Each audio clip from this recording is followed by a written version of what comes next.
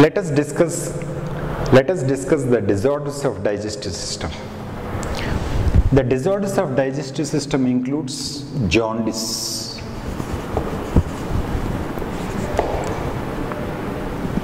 vomiting, diarrhea,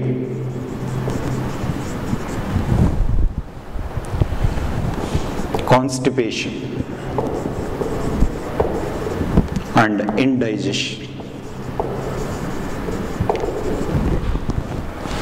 We are trying to understand the disorders of gut or digestive system. It includes jaundice, vomiting, diarrhea, constipation, and indigestion. So we will discuss one after another.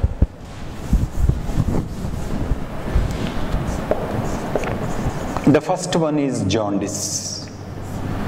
Jaundice is also called as icterus. Now, during jaundice, there is yellowing of eye, the white of the eye. There is yellowing of mucous membrane, wherever mucous membrane is present. There is yellowing of tissues. That's because of accumulation of bilirubin. So that's because of increased levels of bilirubin in blood. So once the levels are elevated, it is deposited in tissues, it is entering into blood. So it's present in blood, it is deposited in tissues. So you can see in blood and in tissues, there is elevated bilirubin, there is yellowing of white, there is yellowing of skin, there is yellowing of mucous membrane, and there is also anorexia. Lack of appetite is called as anorexia. So these are the symptoms of jaundice. In French, Johnny means yellow. Johnny. Johnny means yellow. That's a French word. Now normal bilirubin levels is 0.5 to 1.5 milligrams per deciliter. This is the normal bilirubin levels in blood. For every 100 ml, deciliter is 100 ml of blood. So there is half or one and a half milligrams of bilirubin. But in diseased condition, it is more than 2 milligrams half to one and a half milligrams per deciliter in healthy people. But if it is crossing 2 milligrams, anything above 2 milligrams per deciliter, it is called jaundice. Now there are three different types of jaundice. The three different types of jaundice includes the prehepatic jaundice. It is called prehepatic jaundice. It is also called hemolytic jaundice.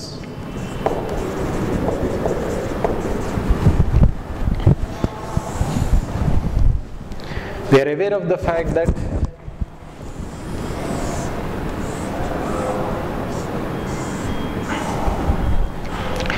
See how is bilirubin produced?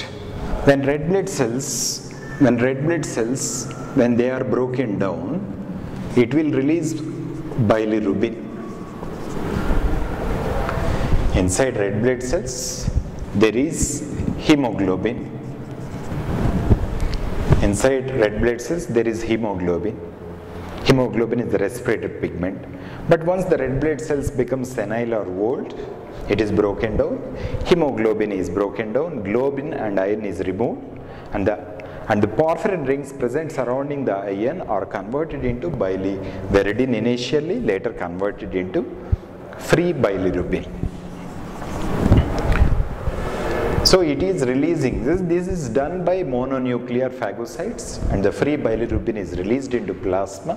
Albumin is taking it and taking it to the liver. In liver, it is converted into a different form called conjugated bilirubin. Conjugated bilirubin. It is, is combining with glucuronic acid. In this form, it is water soluble. Free bilirubin is not water soluble. So in this form it is released into gut. In gut bacteria acts on that. It is converted into it, this is now converted into urobilinogen. Here it is converted into urobilinogen and it is excreted outside through feces. This is what's happening. Now prehepatic jaundice, there is no problem here or here. There is problem here. So that means normally some 1%, uh, see, 1% of the cells die daily and 1% of the red blood cells are formed daily.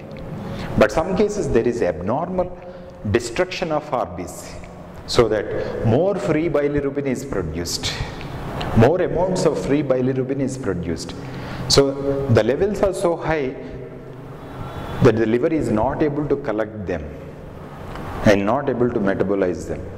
Under that condition, it is called as pre-hepatic jaundice. Hepatic is liver. Pre-hepatic means problem in the blood so it occurs because of malaria, sickle cell anemia, thalassemia, certain drugs like primaquine, autoimmune, hemolytic, anemias, several conditions. You see pre-hepatic jaundice. See in all these conditions, see malaria. When plasmodium has entered, it will affect two areas. One is the red blood cells, other is the liver cells. So in red blood cells, it is having hemoglobin to eat. Inside the liver cells, it has got glycogen and lipids to survive. So red blood cells are broken down too many red blood cells are broken, more of free bilirubin released. Genetical disorders like thalassemia, sickle cell anemia. So it, they are inherently genetical defects where there is more destruction of RBC. Autoimmune hemolytic anemias.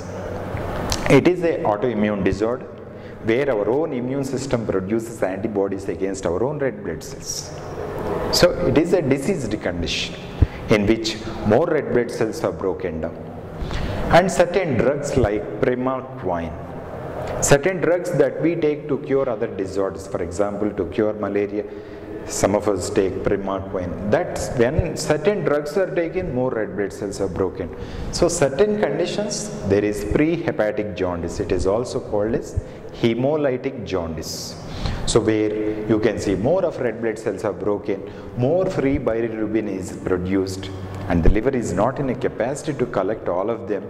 So there is elevated bilirubin in blood which results in jaundice. It is also called hemolytic jaundice. The second type is hepatic jaundice,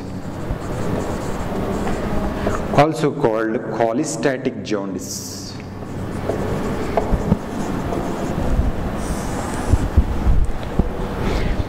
In hepatic jaundice, I use the word hepatic. Hepatic means liver. So there is no problem in this area. There is a problem in this area of liver. So liver is damaged. So when liver is damaged, you can see this conjugated bilirubin is not being excreted. So some of this conjugated bilirubin will go back into blood. So and its levels inside the blood is elevated. So liver is damaged because of certain conditions, viruses, alcohol,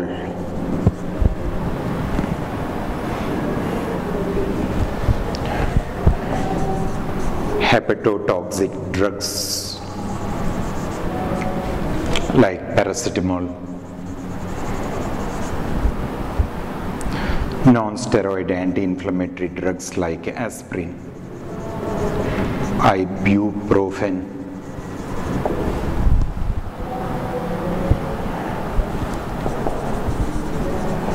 Industrial toxins like arsenic, carbon tetrachloride,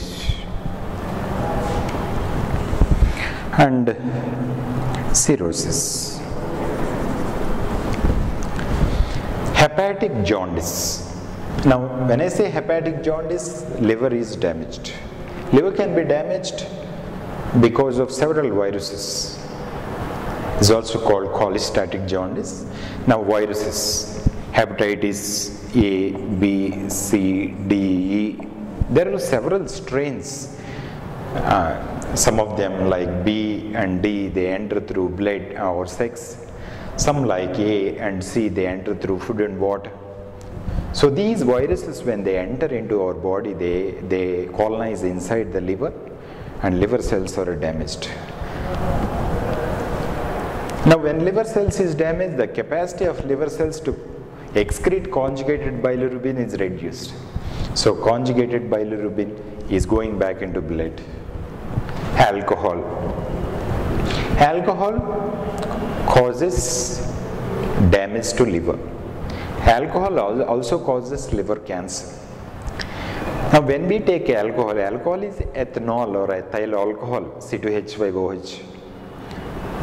After it enters into blood, the liver will try to collect it and it will try to reduce the toxic effect of hepatic jaundice, also called as cholestatic jaundice. Now during hepatic jaundice, there is no problem in this area. There is a problem in this area. I mean inside the liver, the conjugated bilirubin is not being excreted. That's because the liver cells are damaged. So conjugated bilirubin is again going back into the blood. Earlier we saw in prehepatic jaundice, free bilirubin is higher in quantity in blood.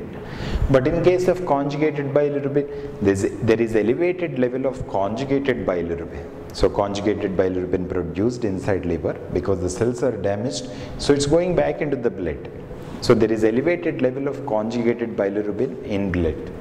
Now it is caused by various factors, viruses. So we have got A to E uh, hepatitis viruses, several strains of viruses, hepatitis A, B, C, D, E in that order. Hepatitis is inflammation of liver.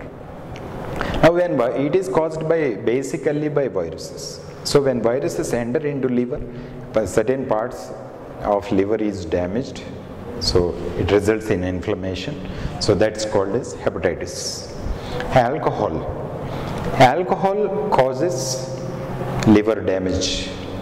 Now when we take alcohol after it enters into blood, liver tries to collect that alcohol and try to detoxify it in that process, the ethanol is first converted into acetaldehyde. It is first converted into acetaldehyde. Acetaldehyde is poisonous. It is toxic. So acetaldehyde we later converted into, it is later broken down into carbon dioxide and water. Now, acetaldehyde causes liver damage. It also results in liver cancer. Hepatite, hepatotoxic drugs various drugs that affects liver. You take overdose of paracetamol, it affects liver. Paracetamol is an antipyrogen. So it reduces inflammation and body temperature. The paracetamol taken in extra doses damages liver. And non-steroid anti-inflammatory drugs like aspirin, ibuprofen, ibuprofen when these, when these drugs are taken in continuously in extra quantities, so it, they damage liver. And certain industrial chemicals, certain industrial chemicals like carbon tetrachloride. Carbon tetrachloride is used in fire extinguishers. It is used in refrigerants. It is used in floor cleaners. So, and arsenic. Along with lead, it is used as, uh, as an alloy in lead batteries. Arsenic. Arsenic is also used in pesticides. Now, these substances, when through food chain or, by inhaling when they enter into our body, so they causes liver damage. The cirrhosis. Cirrhosis means the soft liver becomes hard. A soft liver becomes fibrous and hard over a period of time. It is called cirrhosis. Cirrhosis can again result because of alcohol, because of viruses, or because of various drugs gradually. Now because of cirrhosis there is jaundice. So various substances which affect liver, damage the liver and then conjugated bilirubin is released into blood it is called as hepatic jaundice. Post hepatic jaundice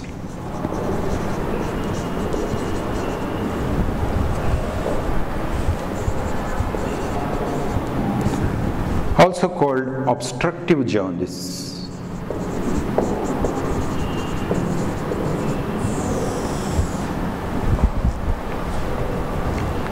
Caused by gallstones or biliary cancers. Post hepatic, there is no problem here. So normal free bilirubin is produced, it is entering into liver. Inside the liver, conjugate bilirubin, liver is also normal. So when the liver, the, the bile juice, the liver produces bile juice and it is stored inside the gallbladder. So it is produced, it is entering into gallbladder. So it is temporarily stored there.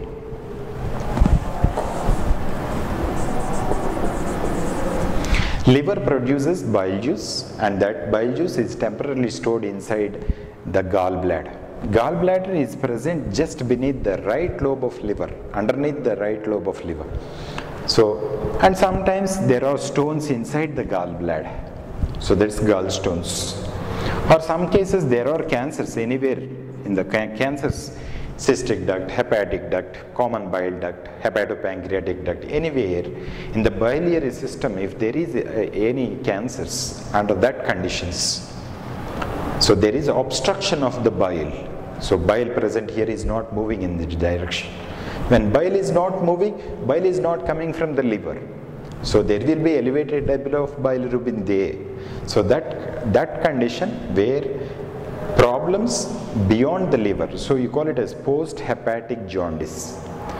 So post-hepatic jaundice is also called as obstructive jaundice. It can be because of gallstones or biliary cancers.